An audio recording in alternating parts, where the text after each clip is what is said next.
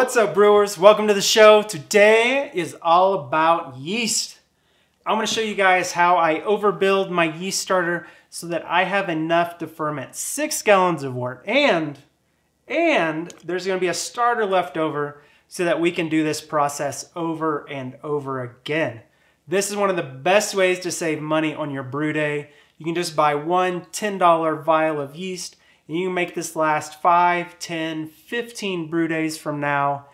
And you get to get more hands-on. You get more in-depth with your beer. Not only are you saving money, but you're learning the environments that yeast thrive in, the things that they love, the things that they don't like, um, and how it interacts with the beer. So this is a great process. I really enjoy it a lot. You get to save money. You get to be more hands-on with your beer.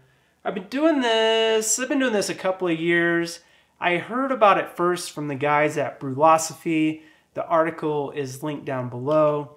But since then, people all over have been doing this. Homebrewers do this all the time because it is such a great way to save money. So, with that being said, uh, let's get into this. Let's see what you need. Uh, you're gonna need a flask, Erlenmeyer flask. You're gonna need a stir bar, of course you gotta have a scale. Scale's a great piece of gear you're gonna use through your whole brewing career. Got a little bowl, gonna need some yeast. You're gonna need some aluminum foil. That's gonna be our lid. And you gotta have something for the yeast to eat. We're gonna use some DME, dried malt extract. This is the Pilsen Extra Light. You wanna get as light as you can just so it doesn't impart any flavors that you don't want into your yeast and your beer. All right, you're gonna need some other stuff and we'll get into that and we'll roll right through it throughout the video. So a two liter flask is the smallest flask that you're gonna get away with using this overbuild process. It is just on the limit of being big enough so that you have enough yeast to ferment your six gallons of wort and enough left over for a starter. Water, Water matters. I use the same water I use for my brewing. I just have a little two-stage carbon filter. It does a great job, just knocks out any of the chlorine or any of the other funky stuff your water department is putting in your water. I highly recommend using whatever you use for your brewing water. I would definitely strongly prefer not to use tap water just because of the chlorine effect. I don't like how it tastes and how it interacts with the yeast. So you can go from there.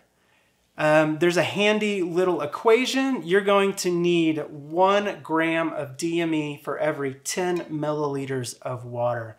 So I have two liters of water and that equals 200 grams of DME. I added a little extra water to this just because it evaporates when it boils. So there's another 100 milliliters in here. So I just up my DME by 10 grams. You got the math? I am sure that you do. Okay, so now we have our water. I'm gonna show you my process. I don't boil everything in the flask, although I do boil the water in the flask. I got a big pot over here. It's just a, um, it's just a six quart stock pot. Any pot will do. Bigger the better so you don't get boilovers.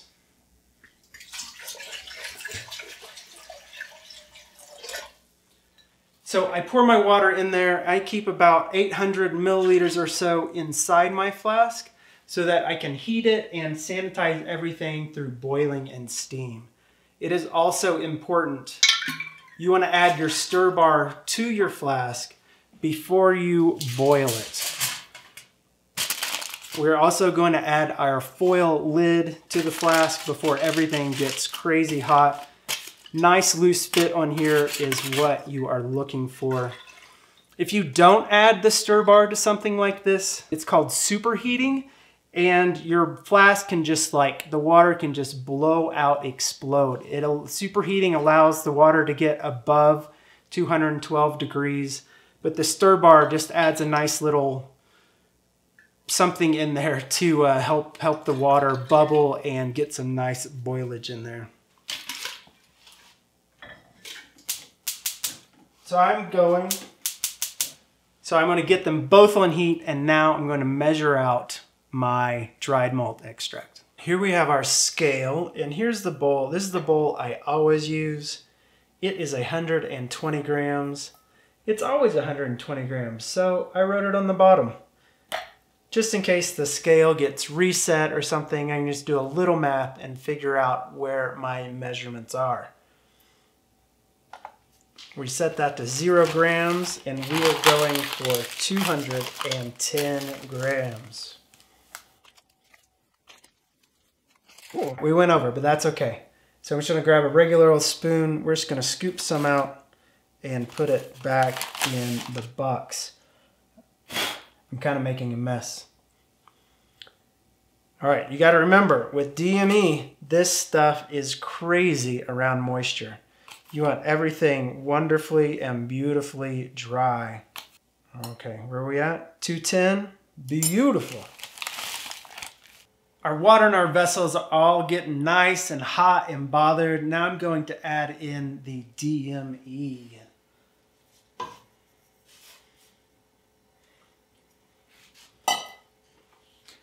So it's okay if it starts off a little clumpy and stuff as it heats up and it'll just continue to mix into solution. Um, get yourself a good little uh, stirring stick and give it a rip. You don't want your heat on high um, to risk for boilovers or anything scorching. So medium, medium high till it gets up to a boil. It's coming up to a nice boil. No boil overs. If it does start to boil over like this, blow on it. And it'll take it right on down. Once they reach a boil, set your timer for 10 minutes. Also, if you're um, you got a bunch of scraggly little guys, little DME is on the rim, you can just put this back in the bowl, back in the the little sweet wort we're making here, rinse it off, and you are good.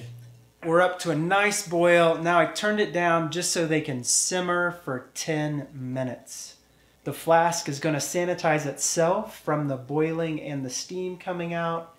And we're boiling the starter wort for 10 minutes too, just to kill any of the little funkies or anything else that is in there just so our yeast have something nice, clean, and sugary to eat. Our 10 minute boil is up. Now I'm to take them over to the sink, combine them, and show you how I cool them down. All right, for this hot stuff, we are going to need a glove. It is very important that your Erlenmeyer flask is made out of borosilicate glass. That is what keeps it from shattering and exploding. All right, here we go. We got our uh, sweet starter wort all boiled and ready to go. We'll take our cap off. Give this a nice pour.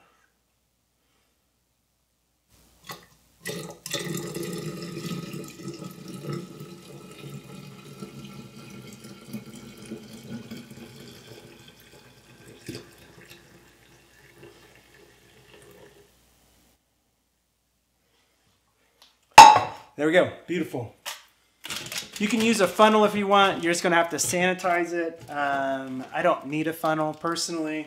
It's just one more thing I have to sanitize and I don't want to. So here's where my system is just a little bit different. So I take the pot we just used, take cold water and wash it off.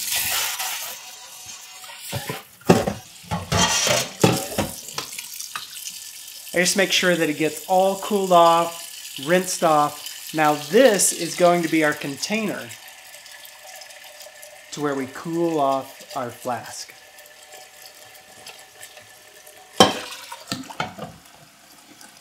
We're just gonna fill this up. We're gonna start with cold water. Just let it take some of the heat out of the flask. Then we'll add some ice and let it sit for a bit. So at this point in the process, everything needs to be sterilized that is near the flask or going into the flask. Best practice, keep this foil cap on there all the time, 100% all the time. Don't let anything come into contact with it besides the yeast that we're going to add. But you can't add your yeast until everything is at room temperature. You want your yeast and your wort to be within one to two degrees of each other. Too hot and it's just going to kill off your yeast. You want it right at room temperature. Not sure if I mentioned it before, but you want your starter wort right at 1040. Maybe a little up, maybe a little down, but 1040 gives your yeast the best nutrient, the best sugar to eat. Too high, and they're going to get stressed out by eating it. Too low, not enough food and nutrients. So the powers that be, people smarter than I am, have figured out 1040 is the magic number. Usually it comes out to 1040 if you follow the little equation. If you do 100 grams per liter of water, it gets you right in that target area, right where you want to be. The water did its job. It took a lot of the heat out of the flask. Now I'm going to add the ice to the pot. So this is my method and it really works well for me. My ice maker makes this amount of ice and it just so happens to fit perfectly within this pot.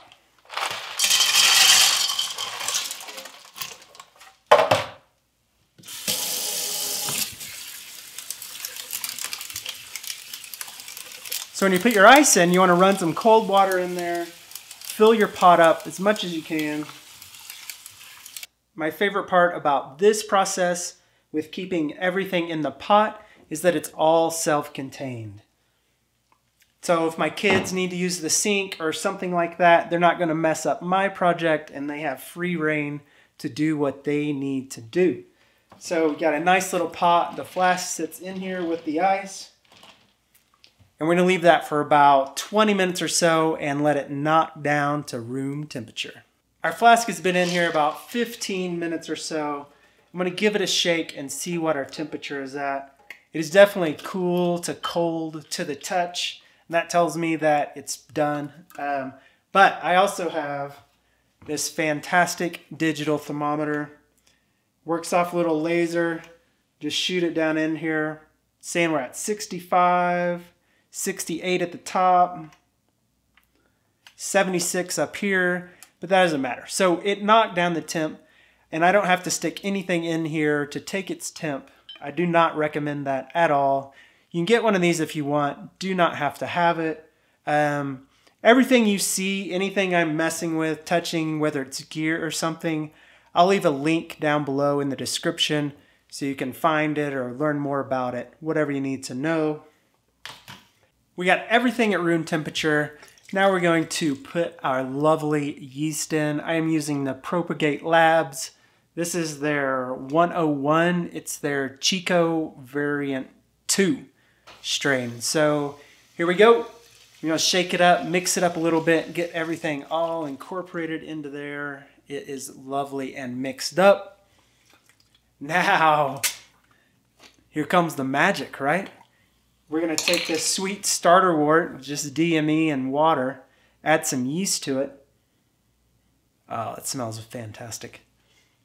Add some yeast to it, and we're going to just let these beautiful yeasties multiply, propagate, and do their thing. They are going to feast.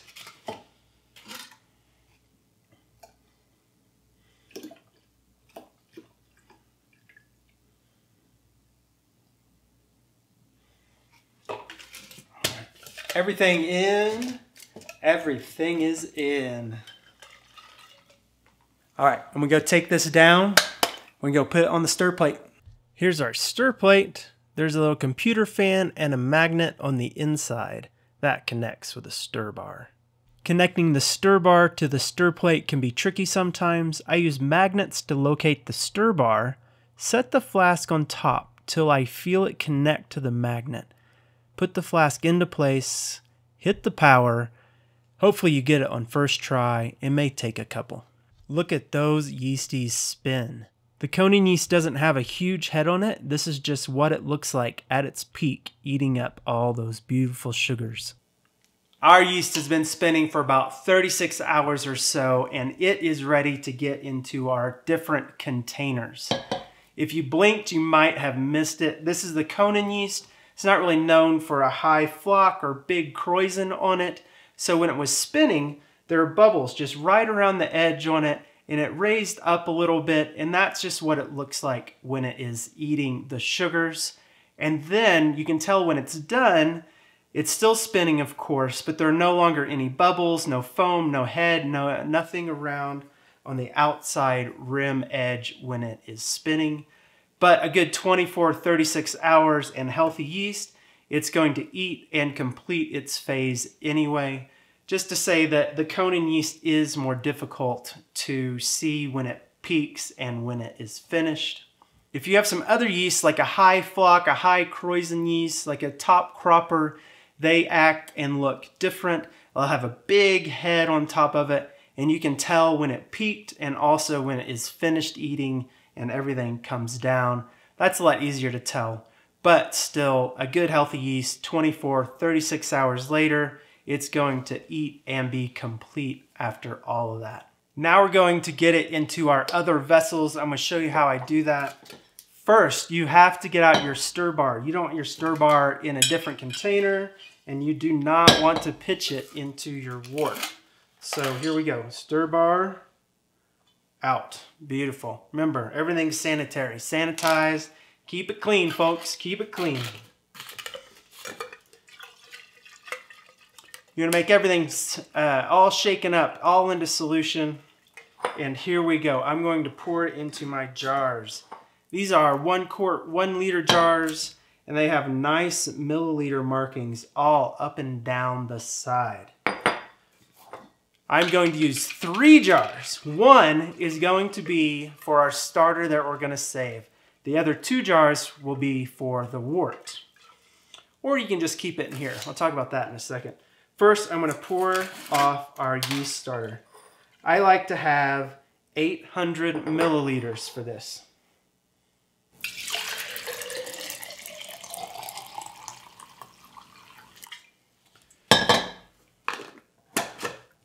Ta-da, there you go. There's our yeast starter, all saved up for next time. And I will label these in a second. Everything has been sanitized. These glass jars and the lids have been soaking in Star San. And this is going to get about 600 milliliters, just like that. I used to boil my uh, jars, but um, there's just not a need for that. Star San does such an amazing job that we just let it take care of the business.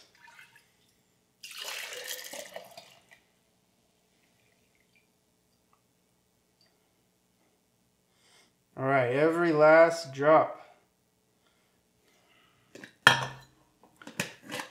All right, we have these beauties all poured off. A different way of doing it is you can pour off your starter and keep that in its jar, nice and labeled for later. And the rest, you know, the, what went into these two jars, you could keep in here. You could absolutely keep it in here, put your lid back on, and you can stick it in the fridge ready for brew day I don't do that because it takes up too much room in my fridge. There's barely ever room enough for a flask like this. And this is a small two liter, but if you up it to uh, three liter or five liter, there's no way my fridge has that much room. So this is my workaround. This is what really works for me. This is gonna be saved and these are gonna be ready for brew day. I have a low-key labeling system. I just use painter's tape and a Sharpie I just make sure that it has on the uh, yeast manufacturer's name and what strain it is and the um, harvest date that we did all of this goodness. And the starter will have starter written on it. And the other two that are going into the wort will just be labeled A and B. And it's just that easy. Everything's labeled. Now it's time for them to go into the fridge. I know many people are worried about the yeast still eating and off-gassing and then the jars exploding or blowing their top. I've been doing this for two plus years and I've never had that happen. Um, please feel free to keep your lid loose as you put it into the fridge.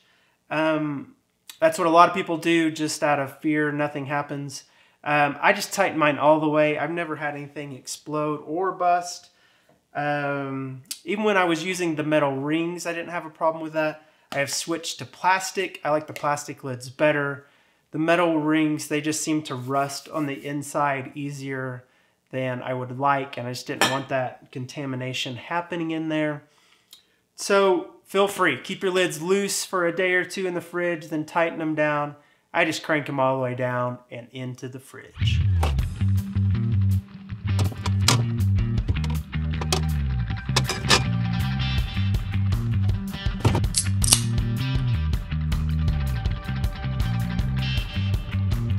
So I'm going to cut in here because I really want to show you that there are two different methods for getting the yeast into the wort.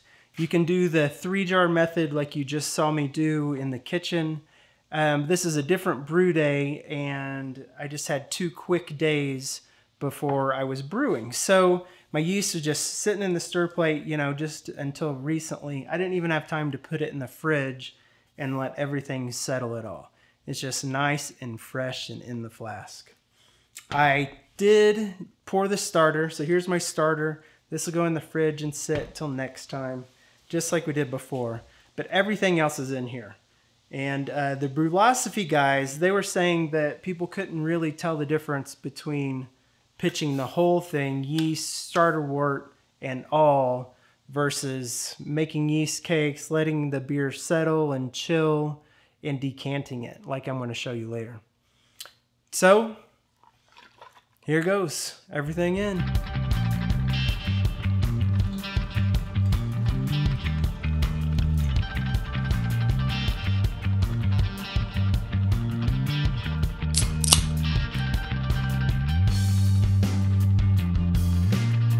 Our yeast have been in the fridge for about three days now, and they are looking wonderful. Check this out.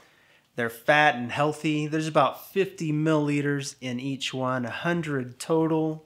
These beauties are gonna chomp down on some wort. So let's get them in there. So here is what I do. I decant most of this off. So this is the uh, starter beer and um, it's also called supernatant is its technical term, just kind of the, the liquid on top.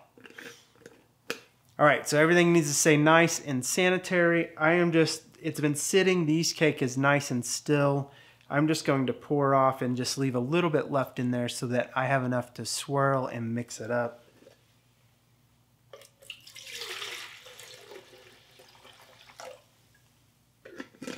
Something like that is good. There's about 200 milliliters of liquid in there. And the same for this one.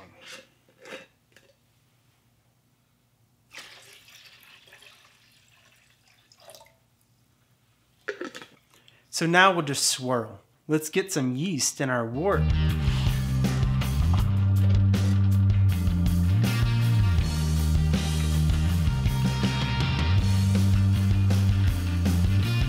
All right, beautiful. I'm gonna shake this up for Whoa! I'm gonna shake this up for a minute or so, get everything mixed up in there and uh, get some oxygen into the wort, into the yeast, so that is ready to eat on this. I always make sure I take the labels off my jar and put them on the fermenter, just keep everything nice and labeled up. All right, hope you enjoyed the show. Um, all the equipment I use will be listed down below in the description. Please like and subscribe. Thanks for watching.